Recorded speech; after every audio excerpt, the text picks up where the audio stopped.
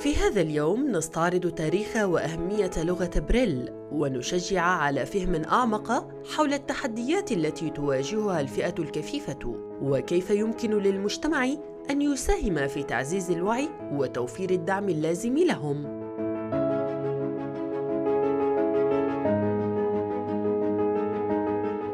لذلك يحيي العالم اليوم العالمي للغة بريل بهدف تشجيع أصحاب الهمم من المكفوفين أو من يعانون من ضعف حاد به على القراءة والكتابة وتوطيد تواجدهم الفعلي في مجتمعاتهم، إضافة إلى العمل على إيجاد حلول فعلية للتغلب على مشاكلهم من خلال تضافر جهود المنظمات الدولية وفي مقدمتها منظمة الصحة العالمية. تم اختيار اليوم الرابع من كانون الثاني من كل عام ليكون اليوم العالمي للغة بريل حيث يوافق هذا التاريخ ميلاد لويس بريل عام 1809 الذي أوجد الكتابة بطريقة بريل المعروفة والتي سميت على اسمه حيث أحدث بها ثورة في حياة المكفوفين باختراعه نظاماً للقراءة والكتابة يعتمد على فكرة نقاط الست البارزة. وقالت الأمم المتحدة على موقعها الإلكتروني إن لغة بريل هي عرض للرموز الأبجدية والرقمية باستخدام ست نقاط يمكن تحسسها باللمس لتمثيل كل حرف وعدد بما في ذلك رموز الموسيقى والرياضيات والعلوم.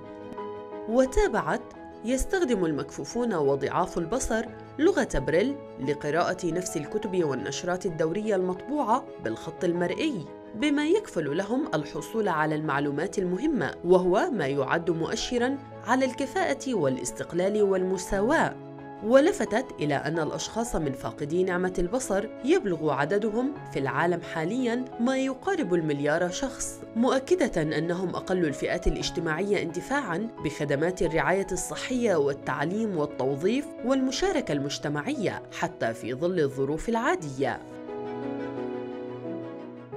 لغة بريل وسيلة تساعد المكفوفين على عبور جسر الحياة كغيرهم من الأشخاص فهي لغة تحمل في طياتها قصص الإصرار والتحدي والنجاح.